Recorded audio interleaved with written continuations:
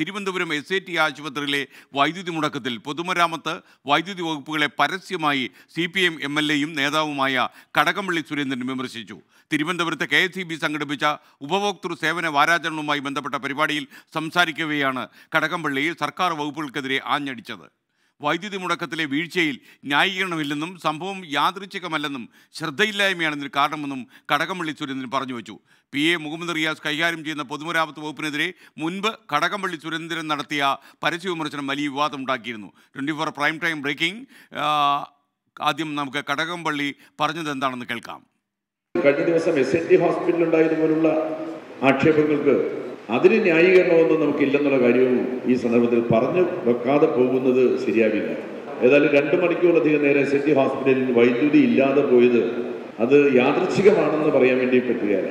അത് നമ്മുടെ ശ്രദ്ധയില്ലായ്മ തന്നെയാണ് യാദൃച്ഛികമല്ല. നമ്മൾ കൈകാര്യം ചെയ്യുന്ന ഇടം ഏതാണെന്ന് പോലും ഗൗരവത്തോടുകൂടി മനസ്സിലാക്കാനായിട്ട് വൈദ്യുതി ബോർഡിനോ ആരോഗ്യ വകുപ്പിനോ ബന്ധപ്പെട്ട ആളുകൾക്കോ സാധിക്കാതെ പോയി എന്നുള്ള ഒരു ഗൗരവതരമായിട്ടുള്ള പ്രശ്നവും ഇതുപോലൊരു കൂട്ടായ്മയിൽ ചൂണ്ടിക്കാണിക്കുന്നത് ഭാവിയിൽ ഇങ്ങനെയുള്ള കേന്ദ്രങ്ങളിൽ ഇക്കണി ഈ കാര്യങ്ങൾ ചെയ്യുമ്പോൾ അത് പ്രയോജനപ്പെടുമെന്ന് ഞാൻ വിശ്വസിക്കുകയാണ്. ഇതാണ് ഈ യോഗത്തിൽ കടകംപള്ളി സുരേന്ദ്രൻ പറഞ്ഞത്.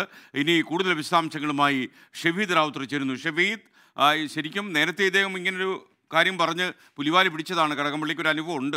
അപ്പോൾ വീണ്ടും അദ്ദേഹം പൊതുമരാമത്ത് വകുപ്പിനെതിരെ ഈ പരോക്ഷമായി ഒരുപക്ഷെ അത്ര പരോക്ഷമാണെന്നും പറയാൻ കഴിയില്ല. ഈ വിമർശനവുമായിട്ട് രംഗത്ത് വന്നിരിക്കുന്നു.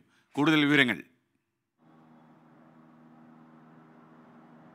എസ് കെൻ അത് പരോക്ഷമാണെന്ന് നമുക്ക് പറയാൻ കഴിയില്ല എസ് കെൻ സൂചിപ്പിച്ചതുപോലെ. കാരണം അതൊരു പ്രത്യക്ഷ വിമർശനം തന്നെയാണ്. കാരണം എസ് ഐ ടി ആശുപത്രിയിലെ വൈദ്യുതി മുടക്കത്തിൽ അത് ആരുടെ വീഴ്ചയാണ് എന്നുള്ള കാര്യം ഇതിനോടകം തന്നെ ചർച്ചയായി പൊതുമധ്യത്തിലുള്ളതാണ്.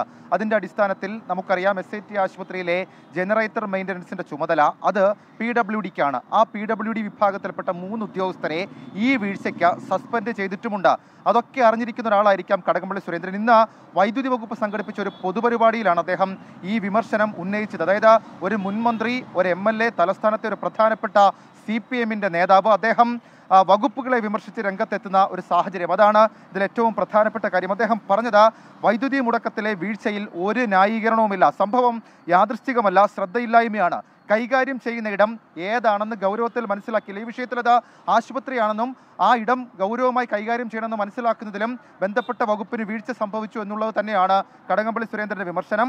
മാത്രവുമല്ല അത് മനസ്സിലാക്കാൻ ബന്ധപ്പെട്ട വകുപ്പിനോ അതൊരു പക്ഷേ പൊതുമരാമത്ത് വകുപ്പ് തന്നെ ആയിരിക്കാം വൈദ്യുതി ബോർഡിനോ ആരോഗ്യ വകുപ്പിനോ കഴിഞ്ഞില്ല എന്നുള്ളതാണ് കടകംപള്ളി സുരേന്ദ്രന്റെ ഈ വിഷയത്തിലെ വിമർശനം. ഭാവിയിൽ ഇത്തരം കാര്യങ്ങൾ ആവർത്തിക്കാതെ നോക്കണമെന്നും കടകംപള്ളി സുരേന്ദ്രൻ പറഞ്ഞിട്ടുണ്ട്. നേരത്തെ പൊതുമരാമത്ത് വകുപ്പിനെതിരെ കടകംപള്ളി സുരേന്ദ്രൻ നടത്തിയ ഒരു പോര് അത് മുഹമ്മദ് റിയാസ് കടകംപള്ളി സുരേന്ദ്രൻ പരസ്യ ഫൈറ്റിലേക്ക് കാര്യങ്ങൾ പോവുകയും സി പി എമ്മിന്റെ സംസ്ഥാന നേതൃയോഗങ്ങൾ വരെ ചർച്ചയാവുകയും നിയമസഭയിൽ അതിന്റെ പ്രതിഫലനങ്ങൾ ഉണ്ടാവുകയും ചെയ്തിട്ടുണ്ട്. അതേ കടകംപള്ളി സുരേന്ദ്രൻ തന്നെ വീണ്ടും മുഖ്യമന്ത്രിയുടെ അല്ലെങ്കിൽ മുഹമ്മദ് റിയാസിന്റെ വളരെ പ്രധാനപ്പെട്ട ഒരു വകുപ്പ് അദ്ദേഹത്തിന്റെ ഏറ്റവും പ്രധാനപ്പെട്ട വകുപ്പായ പൊതുമരാമത്ത് വകുപ്പിനെതിരെ വിമർശനവുമായി രംഗത്തെത്തിയിരിക്കുകയാണ് സ്കെയിൻ.